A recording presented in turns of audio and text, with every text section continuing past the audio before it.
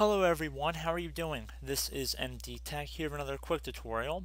In today's video, I'm going to show you guys how to resolve if you're getting an issue that says that the drive or Windows is installed as locked, and perhaps you're unable to reset your PC because the required drive partition is missing. So this should be a fairly quick and straightforward tutorial, and we're going to jump right into it. So the first thing I'd recommend doing, if you don't already have it, would be to go onto Microsoft's website and download the Windows 10 Media Creation utility and then load the ISO file onto a bootable DVD or a USB flash drive. And that's basically where we're at right now on the screen.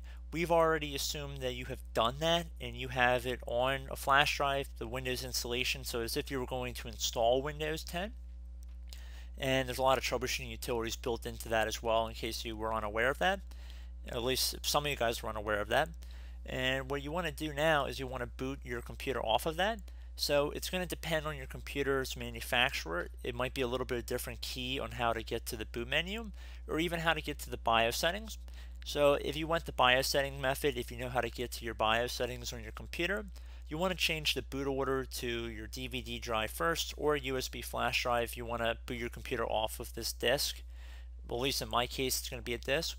And if you could get to the boot menu without going through the BIOS settings, you're more than welcome to do that as well. I'd recommend going onto Google and looking up your computer model and seeing which one is suggested because honestly it depends on what computer you have. The most common keys that I found are the escape key and F2 keys generally, but that's my best hunch. Again, case by case basis. So for the boot menu, I'm going to go down and select my DVD drive because I already have my Windows installation media on it. And now I'm going to press any key to boot from my DVD here.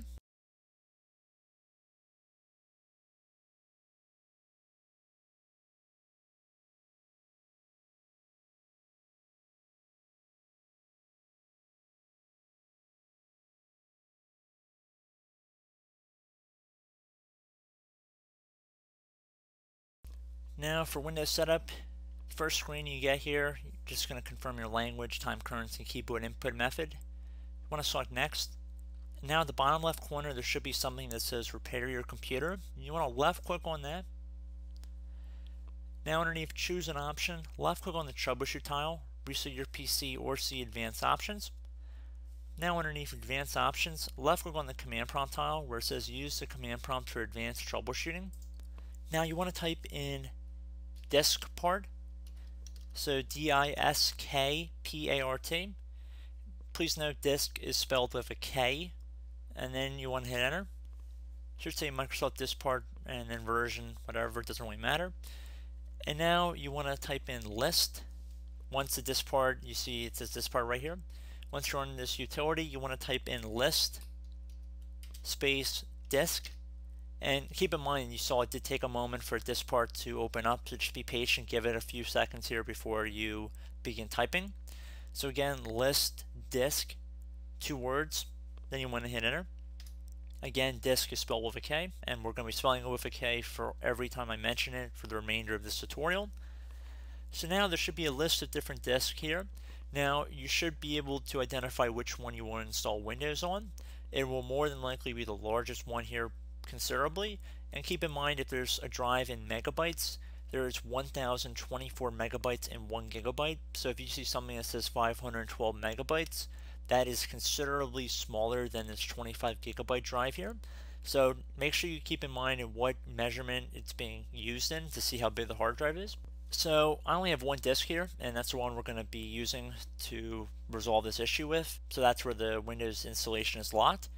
So I'm going to type in select space disk another space, and then I'm going to type the number 0. I'm not going to spell out 0, so Z-E-R-O. I'm going to just type the number 0. So select disk 0. Once you typed it in like that, you want to hit enter. Should say disk 0 is now the selected disk. Now you want to type in list space partition. So list L-I-S-T, partition P-A-R-T-I-T-I-O-N. Then you want to hit enter. More than likely the drive you're trying to install Windows on is going to be a primary partition type. If it's recovery or system, probably not, or reserved. And you can see I have two primary drives in this video. But like I was mentioning earlier, you can see one is 24 gigabytes and the other one is 549 megabytes. So definitely the second one is more than likely within a high reason of certainty that this is going to be the drive we're going to be installing Windows on. So we're going to select partition 2 here. So you're going to type in SEL space partition. And now in my case, it's going to be the number 2, but you might have multiple partitions on here, so you're going to have to just swap out this 2 that I'm about to type with any partition number that you're going to have to use in your case. So see what I'm doing? I'm not actually spelling out 2, I'm typing the number 2. And once you've done that, you want to hit enter on your keyboard. Should say partition, whatever number you had is now the selected partition. So now at this point you want to type in format space fs equals, so the equal sign, FAT32. So again, format, then space fs equals FAT32. Then you want to hit enter. And this will take some time to run, so be patient. It shouldn't take too long, but again, depending on the size of the hard drive, it will vary in length.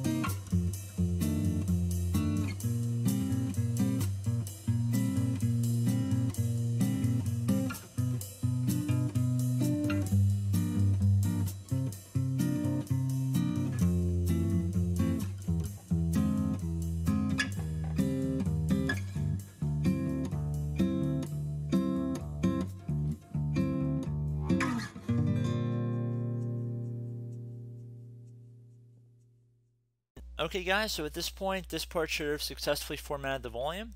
You want to type in a list space partition. Exactly how it appears on my screen, list partition. Then you want to hit enter. And now we're going to select the same partition we were working on before. And there should be a little asterisk next to it as well, so that'll identify. You can see there's a little asterisk right here. right here. So you want to type in SEL space partition and then type in the number of that partition. So in my case, it's partition number 2. So SEL partition 2. And I'm not spelling out 2, I'm just typing the number 2. Then I'm going to enter. Partition 2 is now the selected partition. So now we're going to assign a drive letter. So if you know anything about drive letters, it doesn't really matter so much as long as you're not taking the place of another drive. So I would honestly recommend that you assign a drive letter that's not A, B, C, D, E, or F. I would prefer you guys assign like a letter G or an H. And if you want to go back in later when you've installed Windows and change the drive letter, it's very easy to do. And if you don't change it, it's really not a big deal either way. Just if you watch different tutorials, the command's going to be a little bit different. Instead of using the C drive, you're going to use the H or J drive or something like that. So I'm going to now type in assign space letter, another space equals, and now you're going to assign the drive letter. So I'm going to do equals, one more space, and I'm going to say H. So I'm going to call it the H drive. And then I'm going to do a colon, so the two little dots on top of each other. So assign space letter, and then another space equals space the letter, whatever you want to be. In my case, it's H, and then a colon. Now I'm going to hit enter. So now we've assigned the drive letter as H. So there we go guys. Whatever you assign it at this point is going to be what we're going to be following for the rest of the video. So if you're using a different letter than I'm showing in this video, you're just going to have to swap out the H with a different letter.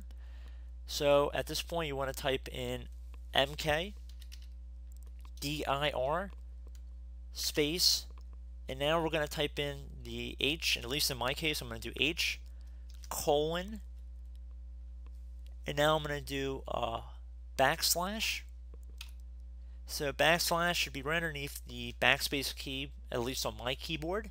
So no space is in between the H, the colon, and the backslash, but there is a space in between the MKDIR here. And now we're going to type in EFI, and now you're going to do another backspace or backspace line. No spaces in between all this little stuff right here. Then you want to hit enter. So after you've done that, you want to type in exit And now you want to type in dir space and then whatever your drive letter was. So H, then I'm going to do a colon. Should say directory of H file not found, which is good. Now you want to type in mk dir space, now whatever your drive letter was, then a colon. Now you want to do backslash EFI then another backslash, no spaces in between the H colon backslash EFI and the last backslash. Then you want to hit enter.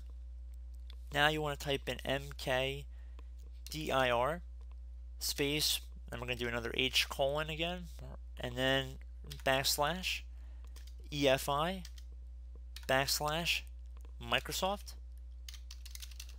No spaces in between the H, the colon, and the Microsoft and all the EFI stuff too no spaces like I said. Now you want to type in cd space forward slash d space, and now we're going to do the h again, colon, backslash, EFI, another backslash, Microsoft,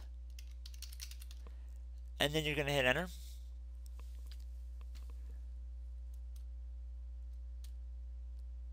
Now you're going to type in boot rec space forward slash fix boot. So bootrec b o o t r e c space forward slash fix boot. And if you ever want to slow down, you can more than welcome to pause the video and see the commands that I'm typing into this video. It's critical that you guys follow along with what I'm typing in this tutorial because I'm sure there are going to be people that are not going to follow the steps exactly. And if you get any errors along the way, just type in the command again and hopefully you'll be able to figure out and reverse engineer what your issue was and how you differed from what I'm showing in this tutorial. So anyway, after you type in bootrec then space forward slash fix boot, you want to hit enter. At this point you want to type in bcd boot space and you want to do a C Now the C is going to be for everybody, so you're going to do C colon backward slash or backslash Windows space forward slash L. So like the letter L, not one. This is the letter L here. I'm going to stress that. It's L. L as in library. So L, and then you do another space, and then you're going to type in EN, then a little minus sign, US, so EN slash US, another space, forward slash S, space, and now whatever your drive was that you were using before, so I'm going to say H again, so H colon space forward slash F and then another space type all. And then once you're doing that you want to hit enter. Now you want to type in dir and then hit enter now you want to type in dir space boot and then hit enter Once you're doing that, you want to type in exit, hit enter, and then exit and continue to Windows 10. So select the first option here. And that should pretty much be it, guys. So I hope this brief tutorial was able to help you guys out. And as always, thank you for watching, and I look forward to catching you all in the next tutorial. Goodbye.